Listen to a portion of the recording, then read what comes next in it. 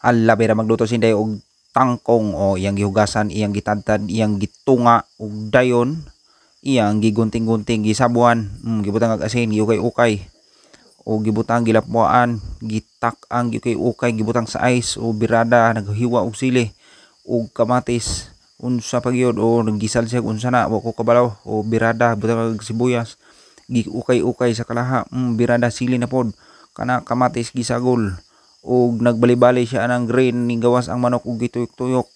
Gibutangan og unsa to? Og unsa pa nang gilunod? Ay pistilan. Pati kapuyag ko karon o gidukok-dugmok na mga sangkap niya. Iyan pang igisal butangan og manahon Mm, sarap po na o gibirada o ba, ba, ba kapoy ko karon o giukay-ukay kana basta mo na ko ninyo nakitaan.